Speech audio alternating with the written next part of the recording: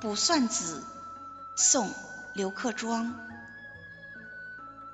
片片蝶衣轻，点点猩红小。道是天公不惜花，百种千般巧。朝见树头繁，暮见枝头少。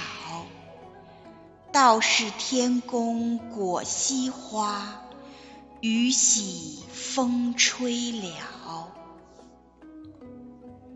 这首词的意思是说，片片花瓣像蝴蝶般轻盈，嫣红点点，娇小可爱。